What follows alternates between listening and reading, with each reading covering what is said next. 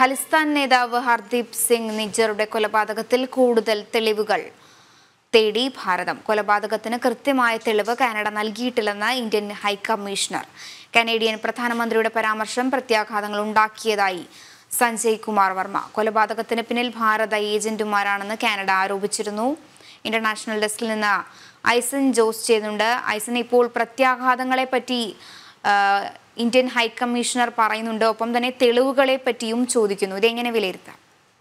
തീർച്ചയായും മഞ്ജുഷ ഈ കാര്യത്തിൽ ഈ നിജ്ജറുടെ കൊലപാതകം സംബന്ധിച്ച് ജസ്റ്റിൻ ട്രൂഡോയുടെ ആരോപണം വന്ന നിമിഷം മുതൽ തെളിവുകൾ ആവശ്യപ്പെടുകയാണ് ഭാരതം. എന്നാൽ ഇതുവരെ അതിനെ കാനഡിയൻ സർക്കാർ തയ്യാറായിട്ടില്ല എന്നത് തന്നെയാണ് വസ്തുത. എന്തടിസ്ഥാനത്തിലാണ് ഇത് ആരോപിക്കുന്നത് എന്ന് വളരെ വ്യക്തമായി ഇന്ത്യൻ രഹസ്യാന്വേഷണ ഏജൻസികളെ ഔദ്യോഗികമായി അറിയിക്കണം അല്ലെങ്കിൽ നയതന്ത്ര തലത്തിൽ അറിയിക്കണമെന്ന നിലപാടാണ് ഭാരതത്തിന്റേത്. എന്നാൽ ഇക്കാര്യത്തിൽ യാതൊരു പിന്തുണ നൽകുന്ന അല്ലെങ്കിൽ ഒരു സപ്പോർട്ടീവ് സ്റ്റാൻഡ് അല്ല കാനഡയുടെ ഭാഗത്തു നിന്നുണ്ടാകുന്നത് എന്ന ആരോപണം വളരെ കർശ- കർശനമായി ഭാരതം ഉന്നയിക്കാൻ ആരംഭിച്ചിട്ട് മാസങ്ങളായി. അതിന്റെ പശ്ചാത്തലത്തിലാണ് പല നയതന്ത്ര ബന്ധങ്ങളിലും ഇല്ല- എല്ലാം ഉണ്ടായത്. മാത്രമല്ല ഈ അടുത്ത ദിവസങ്ങളിലാണ് വിസ നിയന്ത്രണത്തിൽ മാറ്റം വരുത്തിക്കൊണ്ട് വിസ നിയന്ത്രണം ചില റെസ്ട്രിക്റ്റഡ് വിസ നിയന്ത്രണം ഒഴിവാക്കുന്ന നടപടികളുണ്ടായത്. അതായത് ചില ആരോഗ്യ പ്രശ്നങ്ങൾ മെഡിക്കൽ ടൂറിസം അത്തരത്തിലുള്ള നാല് ഘടകങ്ങളെ ചേർത്ത് ആ വിഷയങ്ങളിൽ വിസ വിനിമയം പുനഃസ്ഥാപിക്കുന്നതിനുള്ള നീക്കങ്ങളുണ്ടായത് ഈ അടുത്ത ദിവസങ്ങളിലാണ്. ഇത്തരത്തിൽ ഈ രണ്ട് രാജ്യങ്ങളുമായുള്ള ബന്ധം ഏറെ വഷളായിരിക്കുകയാണ് ഈ ഹർദീപ് സിംഗ് നീച്ചറിന്റെ കൊലപാതകം സംബന്ധിച്ച ജസ്റ്റിൻ ട്രൂഡോയുടെ ആരോപണത്തിന്റെ പശ്ചാത്തലത്തിൽ ഈ ഒരു പശ്ചാത്തലത്തിലാണ് വീണ്ടും ഭാരതത്തിന്റെ സഞ്ജയ് കുമാർ വർമ്മ ഹൈക്കമ്മീഷണർ ഹോട്ടാവയിലെ ഹൈക്കമ്മീഷണർ വീണ്ടും വിവരങ്ങൾ ആവശ്യപ്പെട്ടത്. ഇത്തരത്തിൽ ഈ നയതന്ത്ര ബന്ധം തകരുന്ന രീതിയിലേക്ക് കാര്യങ്ങൾ പോകാതെ പൂർണമായും തകരുന്ന രീതിയിലേക്ക് കാര്യങ്ങൾ പോകാതെ കൊലപാതകം സംബന്ധിച്ച് വസ്തുതാപരമായ വിവരങ്ങൾ ലഭ്യമാക്കിയാൽ അന്വേഷണം നടത്താമെന്ന നിലപാട് ഭാരതം തുടക്കം മുതലേ ആവർത്തിച്ചിരുന്നു. ഈ കൊലപാതകം നടന്നതിന് ദിവസങ്ങൾക്കകം തന്നെ ആരോ ആവശ്യപ്പെടുന്ന ഒരു സാഹചര്യമായിരുന്നു. ഇത്തരത്തിൽ ആരോപണങ്ങളുടെ മാത്രം അടിസ്ഥാനത്തിൽ ഒരു അന്വേഷണ ഏജൻസിക്കും ഒന്നും ചെയ്യാൻ സാധ്യമല്ല. അതുകൊണ്ട് തന്നെ ഖലിസ്ഥാൻ ഭീകരരെ സംബന്ധിച്ചും അവരുടെ പ്രവർത്തനങ്ങളെ സംബന്ധിച്ചും ഭാരതം ഉന്നയിച്ച വിഷയങ്ങൾ പരിശോധിക്കുകയും അതുപോലെ തന്നെ ഈ കൊലപാതകം സംബന്ധിച്ച് കാനഡയുടെ കൈവശമുള്ള തെളിവുകൾ ലഭ്യമാക്കുകയും വേണമെന്ന കർശനമായ നിലപാടാണ് ഇന്ത്യൻ ഹൈക്കമ്മീഷണർ ഇന്ന് വ്യക്തമാക്കിയത്. മാത്രമല്ല മറ്റൊരു പ്രധാന വിഷയം കൂടി അദ്ദേഹം പരാമർശിക്കുന്നത് ഇരുപത്തിയാറ് മടക്കി കൊണ്ടുവരാനുള്ള അതായത് കുറ്റവാളികൾ കാനഡയിൽ കഴിയുന്ന ഭാരതത്തിലെ നിയമപ്രകാരം കുറ്റം ചെയ്ത ഇരുപത്തിയാറ് പേരുണ്ട്. ഇവരെ മടക്കി കൊണ്ടുവരാനുള്ള എല്ലാ നിയമവ്യവസ്ഥകളും അല്ലെങ്കിൽ നയതന്ത്ര വ്യവസ്ഥകളും ഭാരതം പാലിച്ചു കഴിഞ്ഞിട്ടും അവരെ വിട്ടുകൊടുക്കാൻ കാനഡ തയ്യാറാകുന്നില്ല എന്നാണ്. തീർച്ചയായും അത് ഭാരത വിരുദ്ധ പ്രവർത്തനങ്ങൾ കാനഡയിൽ നടത്തിയവരാണ്. ഒരു പരിധിവരെ ഖലിസ്ഥാനും അതുപോലെ തന്നെ മറ്റ് സംഘടനകളുടെ എല്ലാം ആൾക്കാർ അതിലുണ്ട് എന്നാണ് സൂചനകളിൽ നിന്ന് മനസ്സിലാക്കാൻ സാധിക്കുന്നത്. ഇന്നാണ് ഇത് സംബന്ധിച്ച് കൃത്യമായ വിവരങ്ങൾ എണ്ണം പുറത്തു വരുന്നത്. ഇരുപത്തിയാറോളം ഇത്തരത്തിൽ നാട് കടത്തേണ്ട അല്ലെങ്കിൽ കാനഡയിൽ നിന്ന് ഇന്ത്യയ്ക്ക് വിട്ടുതരേണ്ട ആളുകളുടെ കുറ്റവാളികളുടെ പേരുകൾ നൽകിയിട്ടും അതിനുള്ള കൃത്യമായ വിവരങ്ങൾ നൽകിയിട്ടും അതിനെ കാനഡ തയ്യാറാവുന്നില്ല എന്നാണ് പറയാൻ പറയുന്നത്.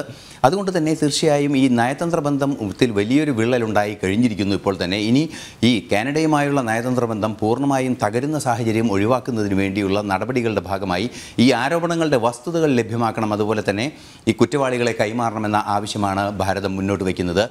നമുക്കറിയാം നേരത്തെ നാൽപ്പത്തി ഒന്ന് നയതന്ത്ര ഉദ്യോഗസ്ഥരെ ഭാരതത്തിൽ നിന്നും തിരിച്ചയക്കുന്ന ഒരു സാഹചര്യം ഉണ്ടായിരുന്നു. ഇവരെ റീഡിപ്ലോയ് ചെയ്യുകയും പിന്നീട് തിരിച്ചു വിളിക്കുകയും അത്തരത്തിലുള്ള നടപടികളിലേക്ക് കാനഡ നീങ്ങുകയും ചെയ്തു. മാത്രമല്ല വിസ നിയന്ത്രണം ഏർപ്പെടുത്തി.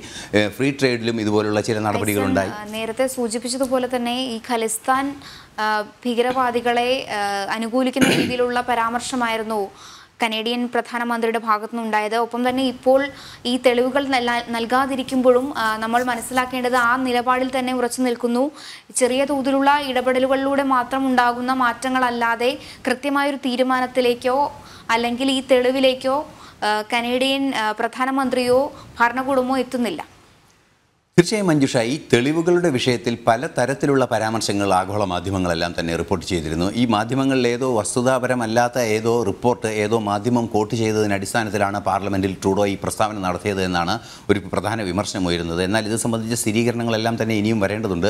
അതിന്റെ വസ്തുതകളും അന്വേഷിക്കേണ്ടതുണ്ട്. അത്തരത്തിലുള്ള ആരോപണങ്ങൾ കാരണം കാനഡയ്ക്ക് പോലും വ്യക്തമല്ലാത്ത ഒരു ആരോപണം ഒരു രാഷ്ട്രീയ ലക്ഷ്യത്തോടെ സാധാരണഗതിയിൽ പാർലമെന്റ് അല്ലാത്ത ചില പൊതുയോഗങ്ങളിലൊക്കെ പറയുന്ന രീതിയിലുള്ള ജനങ്ങളെ ആവേശം കൊള്ളിക്കുന്ന രീതിയിലുള്ള ചില പ്രസ്താവനകളുടെ സമാനമായൊരു നീക്കമാണ് ട്രൂഡോയുടെ ഭാഗത്തു നിന്ന് പാർലമെന്റിൽ ഉണ്ടായത് എന്നാണ് ശക്തമായൊരു വിമർശനം ഉയരുന്നത്.